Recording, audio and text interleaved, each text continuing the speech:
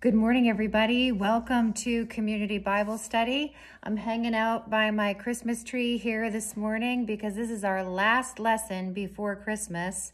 We won't meet again until 2020 is over, and I think that a lot of us will not be so sad to see it gone. Before we start, let me just wish you a very Merry Christmas.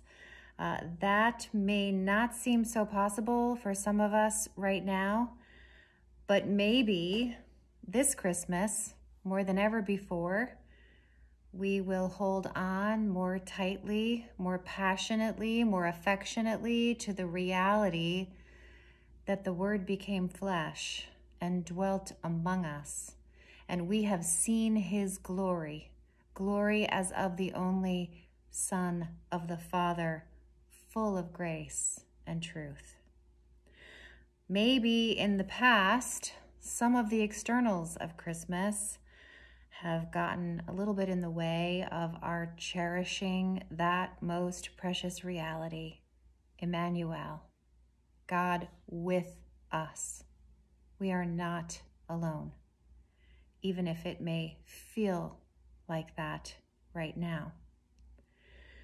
With fewer distractions this time, I pray that he will be nearer to you this Christmas than ever before.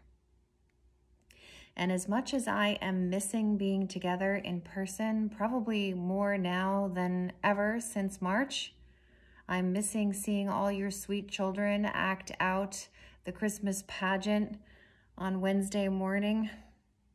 But I can't think of many other passages of Scripture that would be more fitting to talk about right before Christmas than this one. Please open your Bibles to John chapter 7, and I'm going to read verses 37 through 39. J.C. Ryle said that some scripture passages should be written in gold, and this is one of them. Let's pray before we read. Father, we ask that you would bless the hearing, the reading of your word, that you would work in us through Christ's words, that you would change us, that you would draw us ever more close, that those who don't know you will come, will answer his call, come and believe and drink the water that he offers. Fill us, O Lord, with those gracious living waters, with the rivers of water that are inexhaustible. Thank you, Lord, for your word. Where would we be without it? In Jesus' name we pray. Amen. Okay, chapter 7, verse 37. On the last day of the feast, the great day, Jesus stood up and cried out, If anyone thirsts, let him come to me and drink.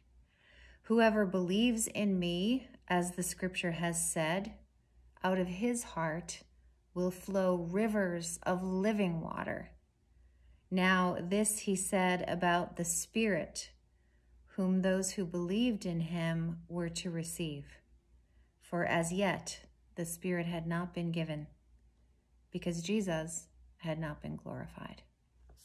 Amen. I want to spend just a few minutes explaining a little bit of the background of what's happening here in chapter 7 so that we get a more vivid picture of just how incredible this moment really was. In fact, it's entirely possible that aside from Christ's suffering on the cross, this may be the most important moment of his life. Just to give you a sense of the timeline that we're looking at here, chapter 7 occurs about six months after the miracle in chapter 6, the feeding of the 5,000, uh, and six months before his crucifixion.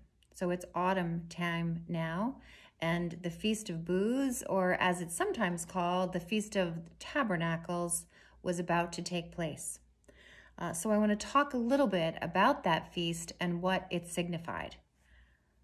According to the ancient historian Josephus, it was the most popular of the three main Jewish Jewish feasts, and thousands of people came and flocked to Jerusalem.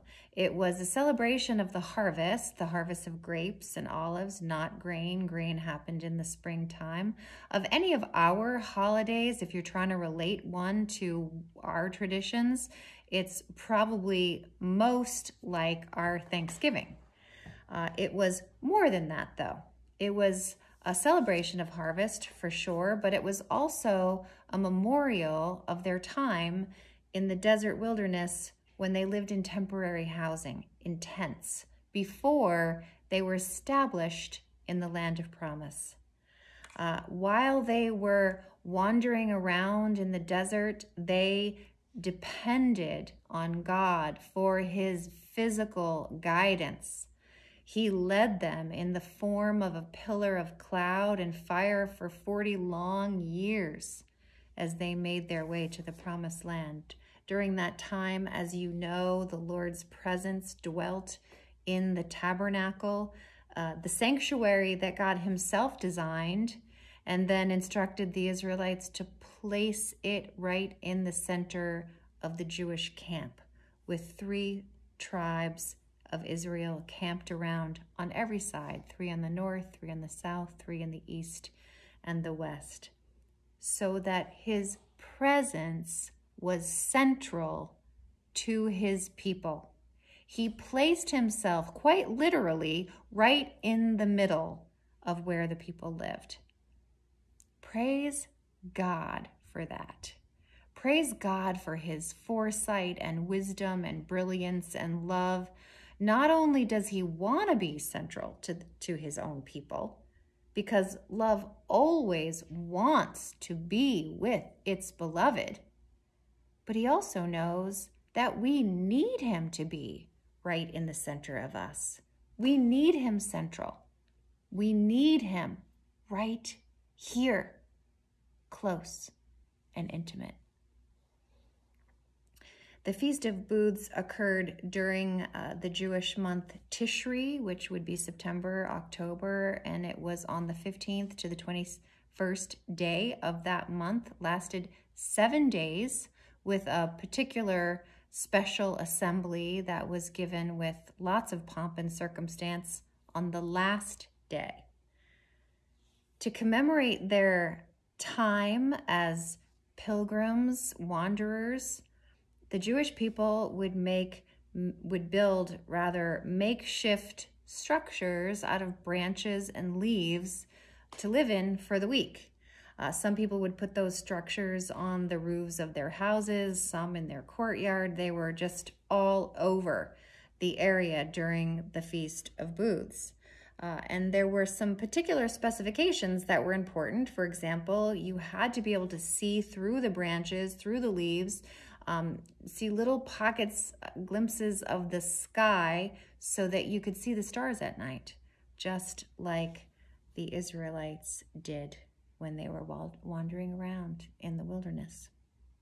There was considerable pageantry during this festival.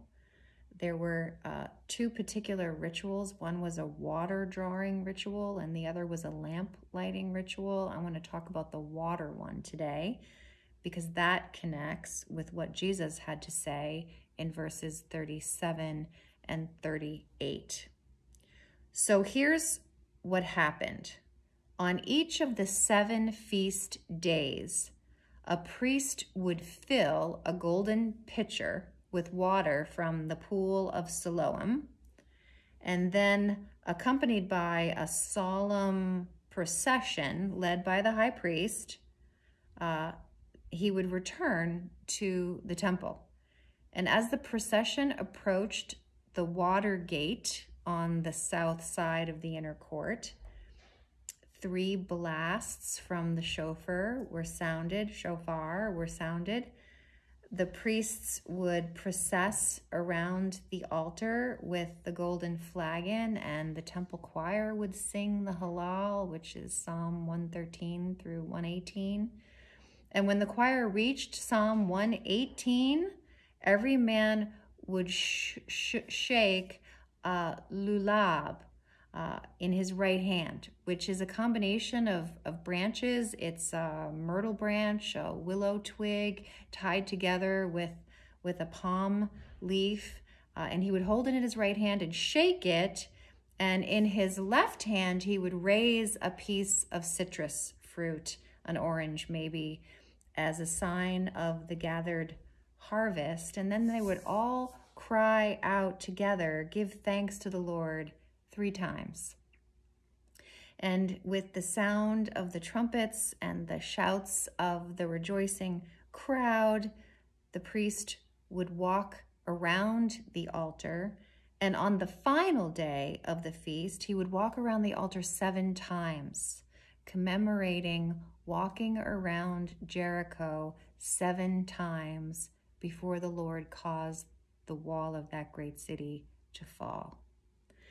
Then the priest would pour out the water onto the altar, pour it out before the Lord. People were jovial. This was a happy occasion. They referred to it actually as their season of our the season of our gladness. They rejoiced and remembered God's goodness to them in the desert, God providing water from a rock.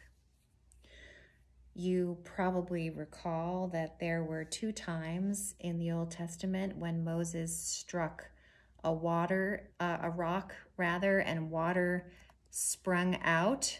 The first time was in Exodus 17. The people were really thirsty and bitterly complaining. I imagine being thirsty in the desert is a thirsty that I've never experienced. The Lord instructed Moses to strike the rock and water gushed out. You see, that rock represented Christ, the Word who became flesh, the eternal water source, our rock, and our Redeemer.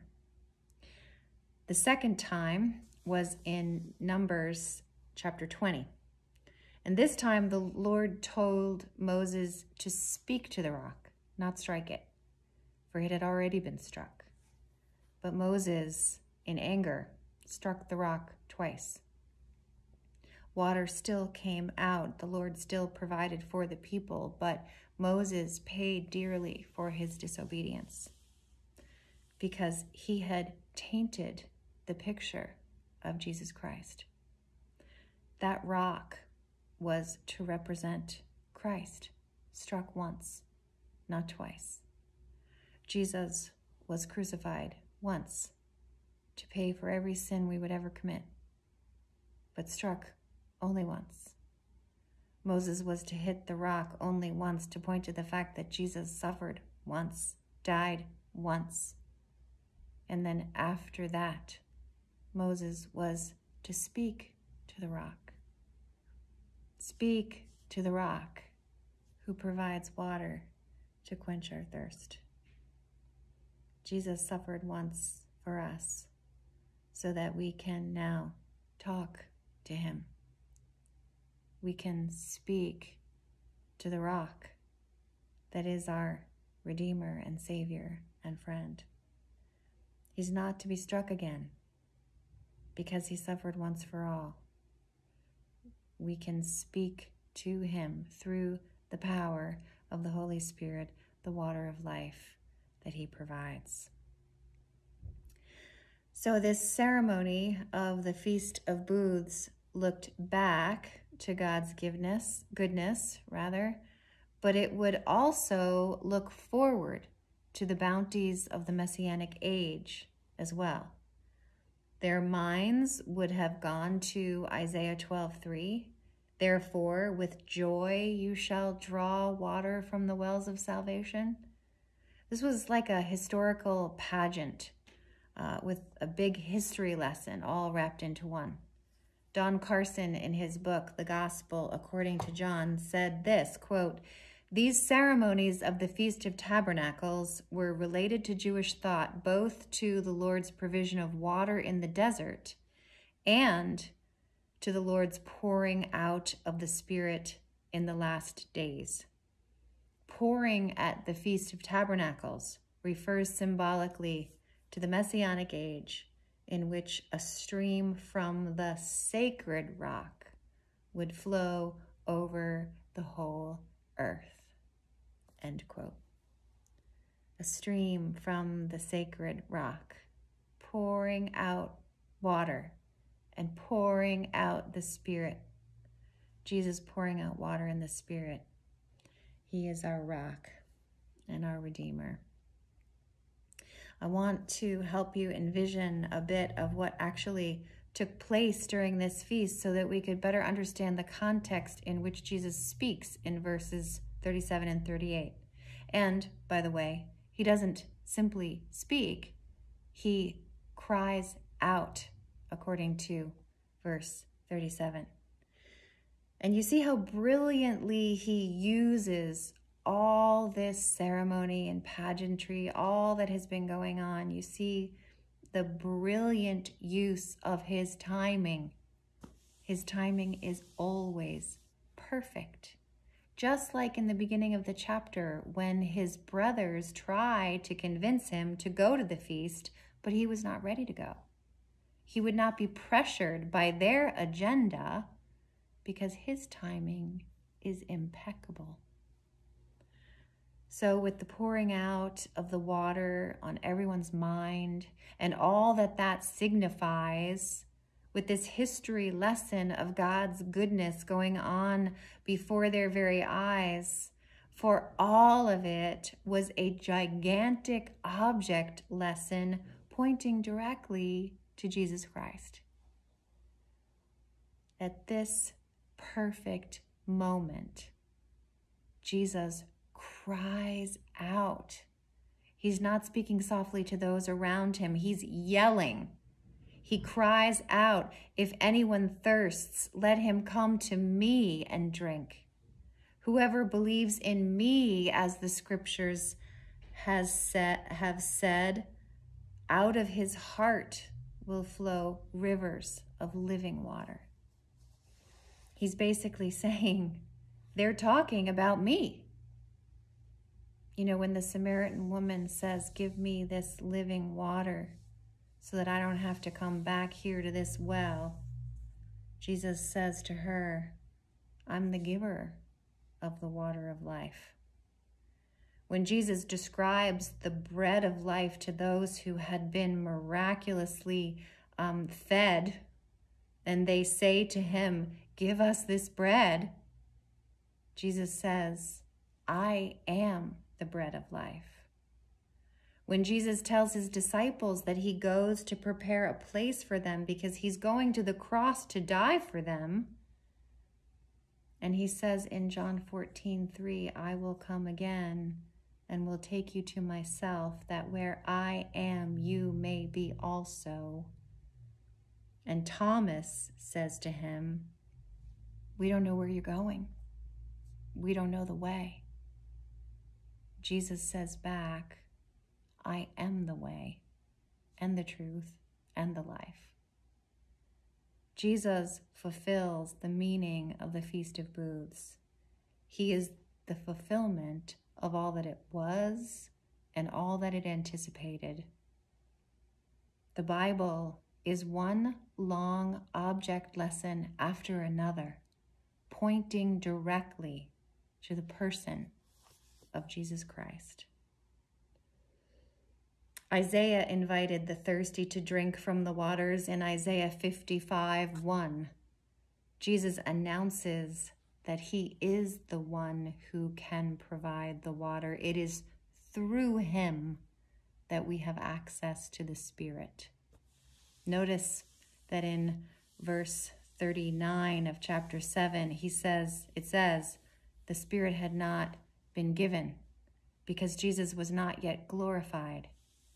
Jesus was lifted up and glorified on the cross, and in his resurrection and ascension to the Father, his path to glorification was the cross. Without the cross, we would have nothing. We would not have the Spirit. There would be no forgiveness of sins, no inheritance in heaven, no peace no knowledge of God and His glorious grace, no love for Him, no wisdom, no fruit of the Spirit, no love, joy, peace, patience, kindness, goodness, faithfulness, gentleness, and self control, because we wouldn't have the Spirit. Do you see what an incredible Christmas gift we have been given? We have everything even if we have nothing that the world values, we have everything. This is the very same message he gave to the Samaritan woman in chapter 4. Whoever drinks of the water that I will give him will never be thirsty again. The water that I will give him will become in him a spring of water welling up to eternal life. There are several Old Testament passages that connect water with the end time gift of the Holy Spirit. One of them is Isaiah 44 3. For I will pour water on the thirsty land and streams on the dry ground. I will pour my spirit upon your offspring and my blessing upon your descendants. Ezekiel 36, 25 through 27. I will sprinkle clean water on you, and you shall be clean from all your uncleanness. From all your idols I will cleanse you, and I will give you a new heart and a new spirit, and I will I will put within you. And I will remove the heart of stone from your flesh and give you a heart of flesh. And I will put my spirit within you.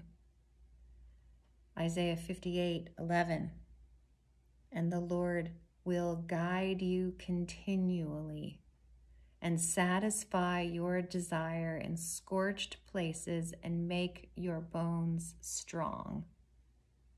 And you shall be like a watered garden, like a spring of water whose waters do not fail.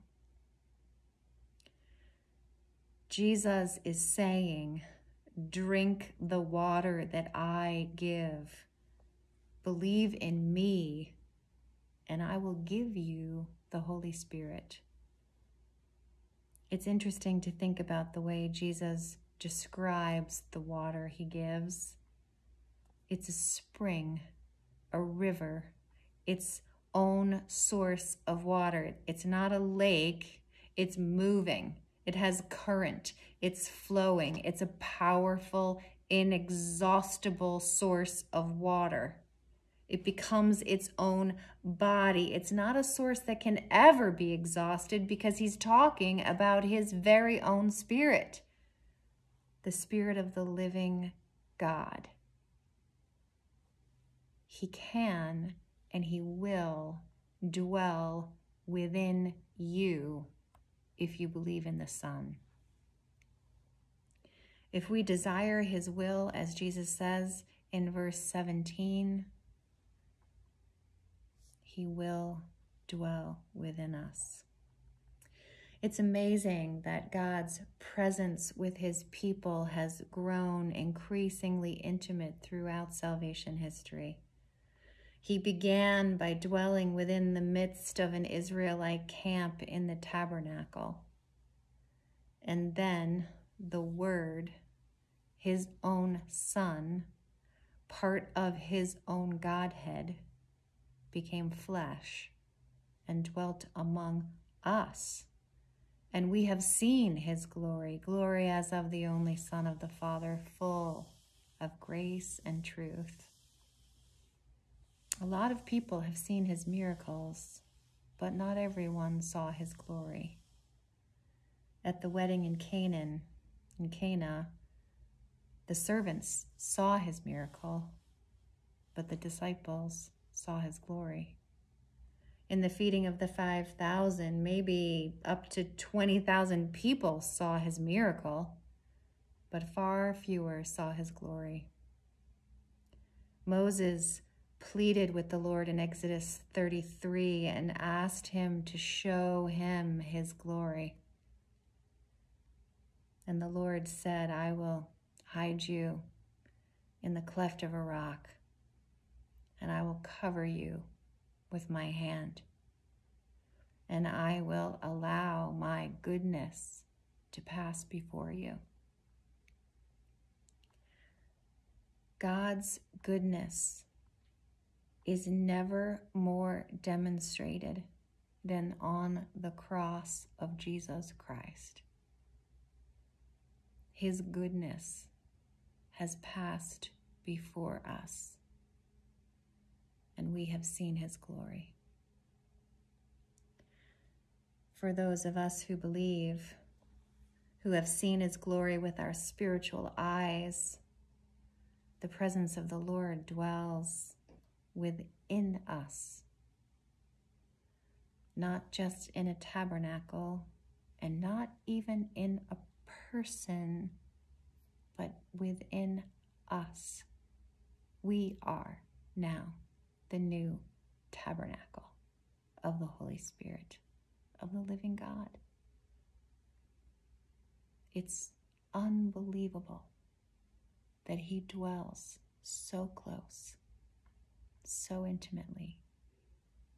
And He is like a spring, a river of water an inexhaustible supply of love and power all of the time.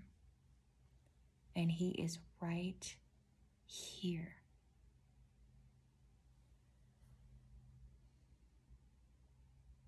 If anyone thirsts, Jesus says, let him come to me and drink.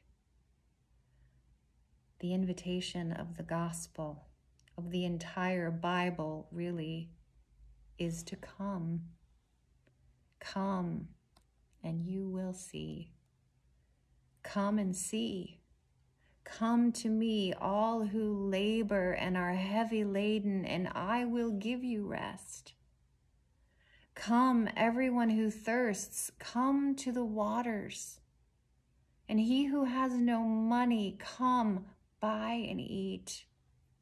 Come buy wine and milk without money and without price. Come and see a man who told me everything I ever did. The final chapter of the last book of this great Bible gives us a glorious picture. Revelation 22. It says, Then the angel showed me the river of the water of life, bright as crystal flowing from the throne of God and of the Lamb. You heard that. Flowing from the throne of God and of the Lamb. The Holy Spirit proceeding from the Father and the Son. Revelation 22 17, some of the very last words of the Bible says this The Spirit and the bride say, Come. And let the one who is thirsty come. Let the one who desires take the water of life without price. As Charles Spurgeon says, come is a gentle word the law is filled with harsh words like strive and work and try. And if you fail, you perish. But the sweet invitation of Christ is come. The law puts fear in the hearts of people, always dangling a carrot in front of you that you can't quite attain. But the gospel attracts and draws us with the tender love of the Good Shepherd, the water giver, with a soft word. Come, with a loving word. Charles Spurgeon said this From the first moment of your spiritual life until you are ushered into glory, the language of Christ to you will be come. Come unto me. As a mother puts out her little finger to her little child and woos her to walk by saying, Come, even so does Jesus. He will always be ahead of you bidding you follow him as the soldier follows his captain. He will always go before you to pave your way and clear your path, and you shall hear his animating voice calling you after him all through your life, while in the solemn hour of death, his sweet words with which he shall usher you into the heavenly world shall be.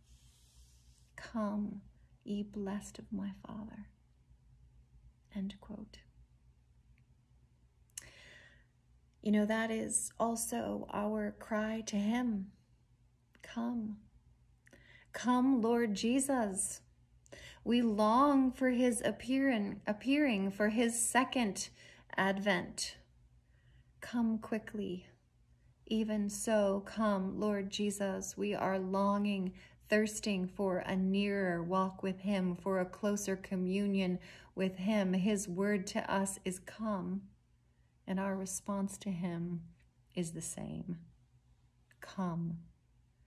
Come, Lord, and abide with us. Come and occupy the throne of my heart. If you have never fully entrusted your life to the Son who gave his life for you, please don't let this moment pass by. Come to him.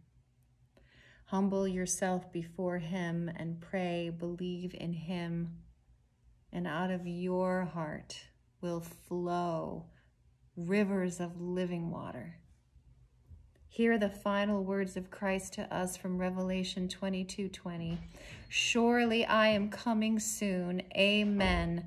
Come, Lord Jesus. May the Lord give you a blessed Christmas this year with Him. It's better than just a merry one. Till next time.